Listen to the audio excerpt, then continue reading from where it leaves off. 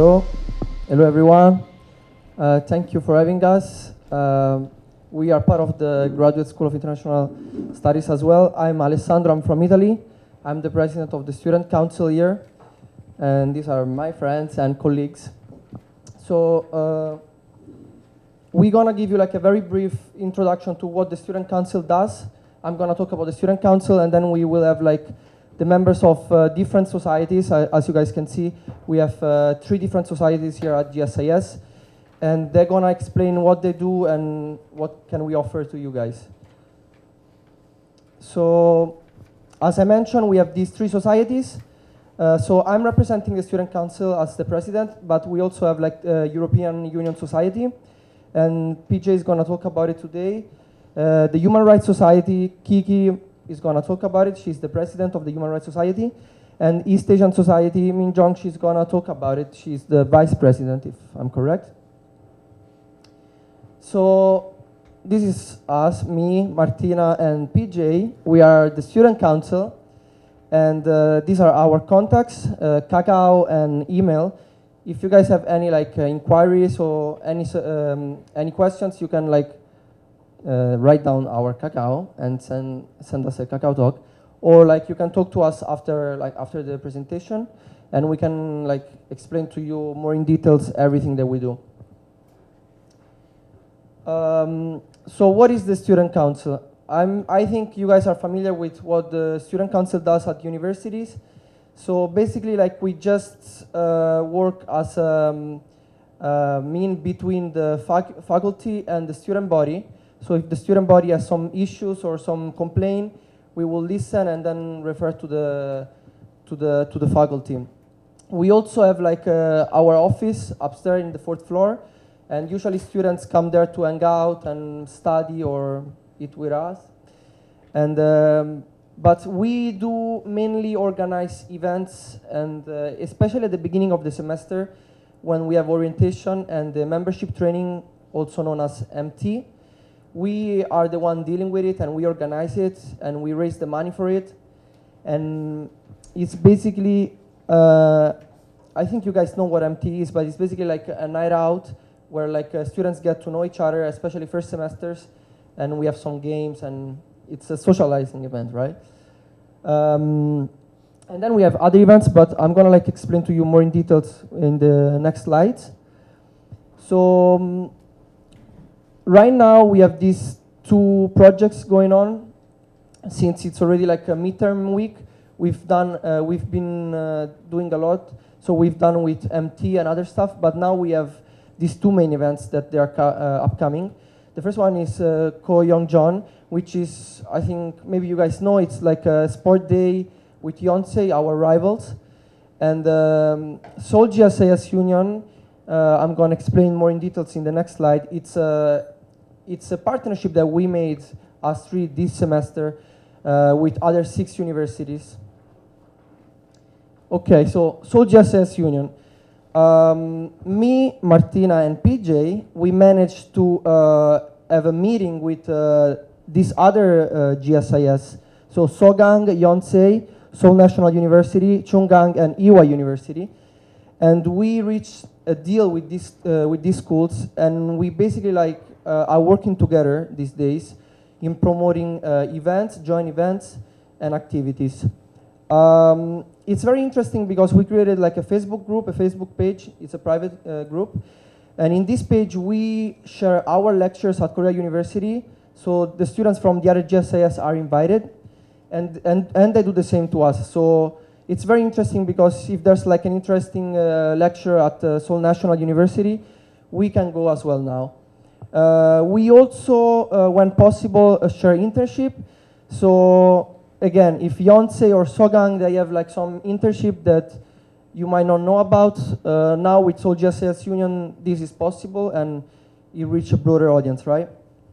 And, and then yes, we, we also have like light events. So we go out and socialize with the other students and uh, maybe in Itaewon or Hongdae.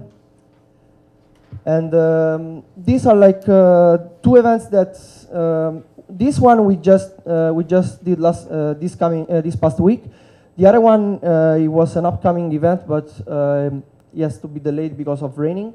So the first one was basically like um, we invited students from the other six, the other five universities, and we were like, um, it's it's a language exchange. So Martina was uh, representing Italy, so he, she was uh, talking about Italy, and uh, there there were like a tiger. She was talking about Thailand, and it was very interesting. We had like a lot of people coming from uh, uh, Chungang and uh, Yonsei, and it was very interesting.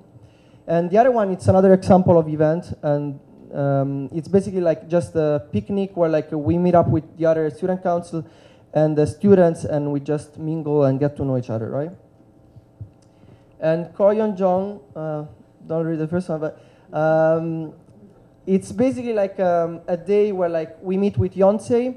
Uh, last semester I was here at Korea University. This semester is gonna be at Yonsei, and uh, we have like these um, sport events and we compete with each other, right? And hopefully this semester we'll win, because last semester I think we lost. Ah, we won. Okay, we lost the the main one. So. Uh, yeah, and also, of course, it's an opportunity to hang out with the students from Yonsei, which are very nice. And now we can like, um, I'm done with the student council. I hope you guys enjoyed it. And now the members of societies will tell you about what society do. Thank you.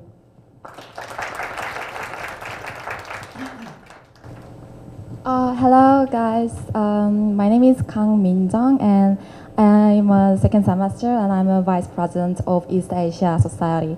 So it's really nice to see you guys here in GSIS. So um, uh, let me introduce uh, East Asia Society. So basically, it's a platform of platform for a group of students uh, who have interest in East Asia, like including ASEAN countries. So we do have a weekly meeting and have a discussion about um, some current interesting topics in East Asia, and that is led by one of the members, and who volunteered to be a discussion leader in each week. So that presenter had a presentation and end of the presentation, they will give kind of uh, discussion questions. So for uh, so the, for the members and can uh, so the members can participate in the debate. So and then the each meeting has dinners, uh, and there is several field trips. So this is the leadership for the semester. The guy in the middle who is from Thailand, his name is Jason, and he's the president of this society. And the left side is Evie from Netherlands, and she's the vice president. Both of them having a class now. And the right side is me. My name is Kang Min-jung, and I'm Korean, and I'm a vice president of this society. So let's see what EAS actually do. Uh, like basically we are talking about some topics uh, related to any topics related with Asia, uh, East Asia. So these are some topics we already discussed uh, for this semester. So the first one is about uh, um, the the Pyeongchang 2018 Olympics and its politics. And second one is about the polygamy in Indonesia, and third one is history of Tang Dynasty in China. So these are some pictures showing our like kind of climate when we're having a discussion. So you can see the, the presentations led by like many GSI students, uh, like led by GSI students from Netherlands and Thailand and China. So we do have many uh, students from uh, different background. Um, after the discussion activity, we do have a we provide dinner for the mem- members. So, uh, which is my favorite time. And the first picture, we went to uh, we had a team chimaek beers and chicken together uh, at the lawn in the in front of the main gate of the school, and we also went to Chinese, Vietnamese, and Thai restaurant. And this is field trips. Uh, we went to like Blossom Festival and Seoul Lantern Festivals. So for this semester, we're planning to have five field trips.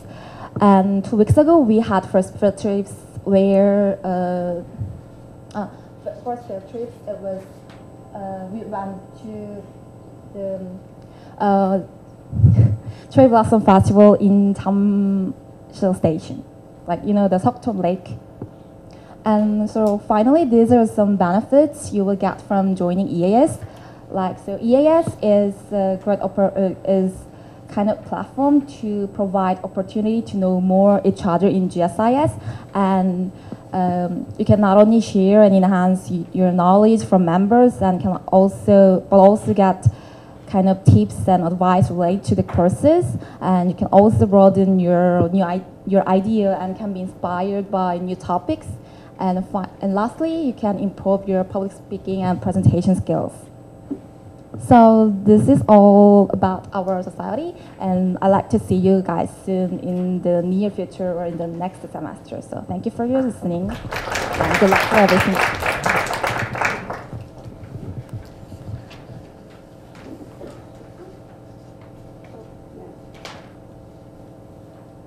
Okay. Um, so, hello everyone. Um, my is Kirsty, and I'm the president of the Human Rights Society. So, I'll just give you a little talk about the Human Rights Society and what we do. Okay. Um, so yes, so here are the committee members of the Human Rights Society. So that's me, uh, and then we have Martina when she used to be a brunette, um, and then we have Pamela and Maha who couldn't be here today, um, but they're also valued members of the committee. Um, okay, so we're going to skip that bit. That was a video when I couldn't be at the orientation. Um, and basically, I'll just cover what the video covers. Um, so, reasons to join the Human Rights Society. So, I think pretty similar to East Asia Society as well. Um, so, number one, um, it's a CV or resume booster. Um, so, I think it, it's very easy to kind of get trapped in the bubble of just studying and all work and no play. Um, but actually, on your CV, um, if you have some kind of extracurricular activities, it does look a little better. Um, so it's always good to add some of these um, societies onto your CV. Um, but then also, as well, not just for your CV, but for your personal life, it is a great way to make friends and meet new people. Um, and so, especially these days, I find it very difficult. There is midterms coming up, and um, I think, like a lot of people, I'm stressed and studying loads. But um, the Human Rights Society reminds me to have somewhat of a social life, um, and so it's a good way to join others and make friends. Um, but then also coming back to your career and your studies, it is a good networking opportunity. So by meeting other people, you might meet people that have different connections um, that are related to internships or volunteering experience or things you, you're not even aware of that would be quite helpful. So you never know who you're going to meet and how that might um, help you both in your career fields. Um, and then we have, we like to have debates about pertinent issues. So just recently we had a debate about um, human rights in light of the Facebook and Cambridge Analytica scandal, and as we're moving forwards with technology, what that means for us with our human rights. Um, and so it's, it's quite interesting to have debates about current issues. Um, and then also we had a debate about the legalization of prostitution, um, which is quite a hot topic at the moment. Um, and an organization I used to work for in Colombia, this is in Colombia right now, they're debating this. Um, and, the, um, and so being able to debate these issues with other people is, is really important. Um, and then we also, we organized some trips around Seoul. So recently we went to another different cherry blossom festival. Um, and hopefully coming up in May, I'm going to organize a trip to um, a museum which is, um, I've forgotten the name of it, but it's basically an experience where everything is in dark. Um, and you can kind of experience what it's like to be a blind person. Um, and we quite often, we um, sort of take for granted if you don't have a disability, um, all the things that aren't available or things that are difficult for people that do have disabilities. Um, so hopefully that will be coming up in May. And um, and last semester we also had a trip to the National um, History Museum in Seoul, um, talking about important issues um, in the past of the uh, people's right to protest.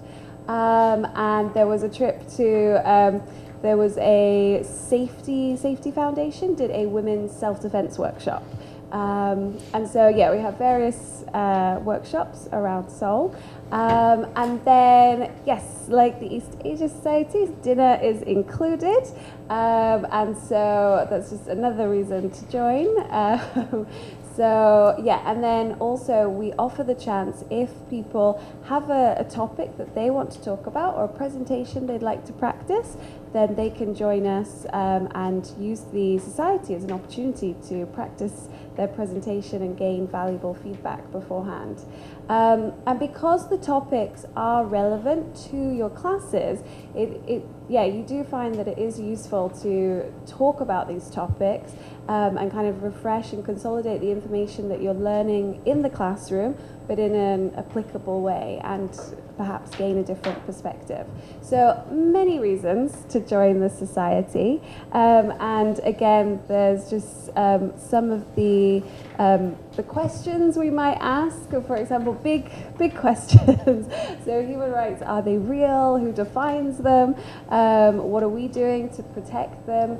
Um, do they matter? Uh, this year in particular is the 70th anniversary of the Declaration of Human Rights, and I think, as many people are aware, um, we still have so many human rights abuses um, being committed around the world, and so that means that now more than ever, it's really important for people to come together and discuss why this is and why certain um, human rights mechanisms aren't working. Um, so I think, in particular, human rights is an issue that um, is important for societies to be spreading awareness and getting together for.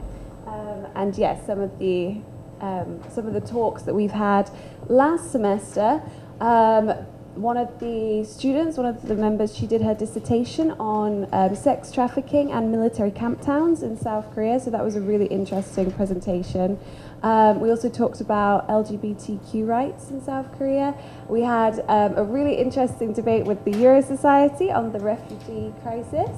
Um, and another person gave a talk on the Olympics and with the, the Winter Olympics coming. So we talked about Olympics human rights abuses um, and lots of other topics. So, um, yes, I think that was everything. So, hopefully, yes, if you do join us at GSIS, we look forward to seeing you at the Human Rights Society. Um, and yes, we normally meet on Tuesdays at 5 p.m. in room 217. so, thank you very much.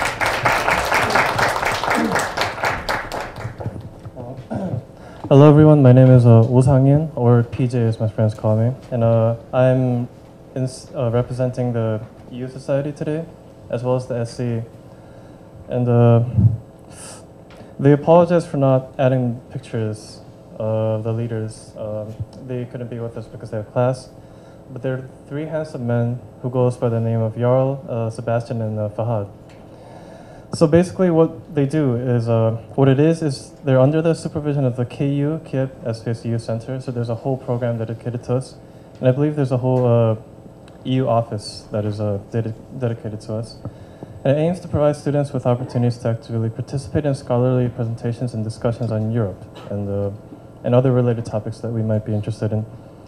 So the members will have activities to engage in activities run by the KU EU Center here like conferences, seminars, and like speeches from uh, uh, people from uh, represent uh, EU representing uh, locations.